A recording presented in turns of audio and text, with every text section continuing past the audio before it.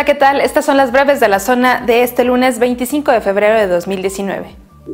Familiares de Leonardo Reyes Cayente y miembros de la comunidad migrante en Texas interceptaron al gobernador Diego Sinué Rodríguez Vallejo durante su gira de trabajo en el extranjero para demandar justicia por la muerte del joven guanajuatense. Al llegar al consulado de México en Texas, ya lo esperaban con cartulinas con consignas como mi hijo no era ningún delincuente y en Guanajuato a los migrantes nos han hecho ver como delincuentes. Al respecto, el mandatario estatal se comprometió a dar una respuesta este día martes, por lo menos en lo que respecta a la entrega de las pertenencias de Leo, que hasta ahora no han sido entregadas a sus familiares.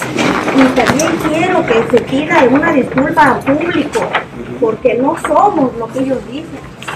No quiero que paguen, porque él no es un... Mi hijo era un hijo trabajador, honrado, lo que él tenía, lo que él Dios nos ocurrió con el sudor de su frente. Él trabajaba, él no lo juntó en la calle, él no le robaba a nadie. Además tengo entendido llevaba un día ahí, ¿verdad? De, de regreso de visita. Sí, Sí, yo lo que les eh, ofrezco, les, les prometo, es eh, el tema de investigación. Tiene que ser muy transparente, tiene que aclararse, yo coincido con usted. Este, no podemos criminalizar a las, a las personas.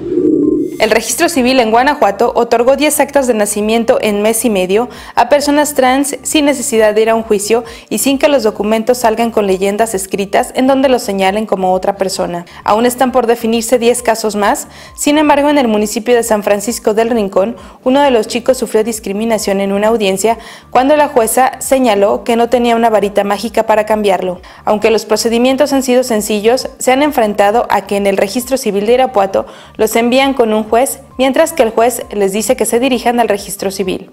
Las personas transgénero pasan por años ante muchos procesos legales para poder obtener sus actas de nacimiento. La mayoría busca suerte en la Ciudad de México. En promedio 10 casos este, ya están resueltos a favor, eh, exceptuando uno.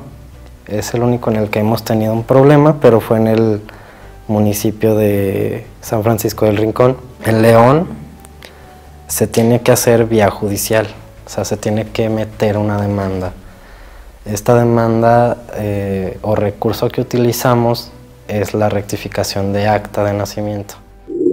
Roma, del cineasta mexicano Alfonso Cuarón, se subió tres veces al escenario de la premiación de la edición 91 de los Oscar. La cinta, que es una oda al matriarcado en el que director se crió, alcanzó los premios como Mejor Dirección, Mejor Película Extranjera y Mejor Fotografía. La cinta Bohemian Rhapsody dominó con cuatro premios Oscar, en los que Green Book se alzó con el galardón en la categoría Reina de Mejor Película. En Guanajuato la grandeza se vive con la prosperidad y el trabajo de nuestro campo. Hoy somos líderes en cultivo y exportación de fresa y berries, brócoli, cebolla y lechuga. Y el siguiente gran paso que daremos será potenciar al máximo la economía de nuestros productores. La mejor historia de nuestro campo se escribe hoy. La grandeza está en nuestra tierra. Guanajuato, Grandeza de México, Gobierno del Estado.